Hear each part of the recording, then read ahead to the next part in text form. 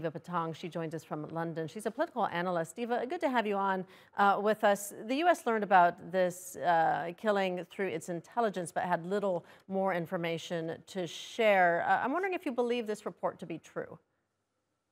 Uh, thank you for having me, Rachel. Uh, yes, um, this is. Uh, uh th there are many questions which are raised up at the moment because this killing has happened uh, uh, quite a, a, few days ago, but it has been reported on yesterday that it, it, was confirmed that the masterminder who killed over 200 people at the airport of Kabul just before the U.S. withdrawal, um, although it has been confirmed by the US, but there, there are many questions are raising up.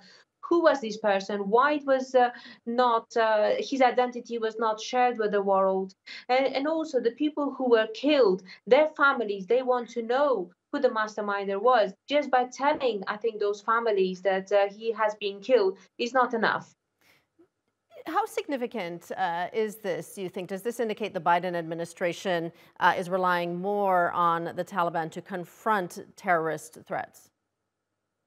Well, there are there are few elements to it. Uh, first of all, uh, by confirming that uh, uh the masterminder of the Daesh has been killed by the Taliban, what the Taliban wants to show by this is that they are determined to the agreement in Doha that they have signed with the with the uh, Americans. Secondly, they want to uh, show to the world and to the U.S. that they have a common enemy and they're fighting it uh, in Afghanistan. And thirdly, um, uh, the Taliban wants to show to the international community that Afghanistan Afghanistan is not a threat uh, to the world, and uh, they will try to secure their country and also will try to fight terrorism on their own. And one of the reasons why all this is happening is because the Taliban they want to be recognized, they want to get recognition, and uh, for them to get the recognition, they need uh, assistance and uh, uh, from the international community, especially that they are meeting with the UN representatives in just a couple of days' time time, um, I think news as such will help the Taliban to show that they're determined uh, to be uh, taken serious and that they are fighting the terrorism in the area. Yeah, we're coming up on uh, in just a few months' time, the two two years since the Taliban uh, took over the country, and security has been a serious concern. Uh, is the Taliban starting to become more effective, you think, then at rooting out terrorism and, and safeguarding the country? Well, if you look into uh, Afghanistan, uh, the, the whole world intelligence community was in Afghanistan to fight terrorism, but they failed.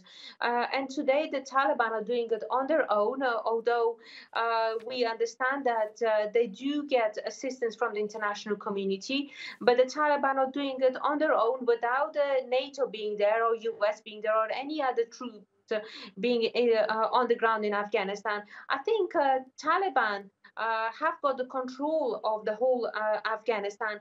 But what is really lacking uh, to the Taliban, I think, is the recognition.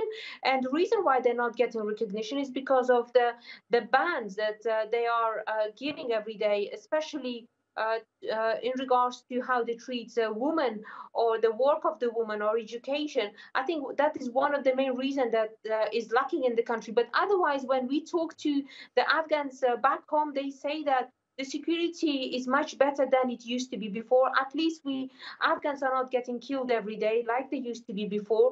Um, uh, but uh, what is a problem in the country is uh, lack of education and also lack of uh, uh, work. Mm, yes, certainly still many problems uh, there in the country.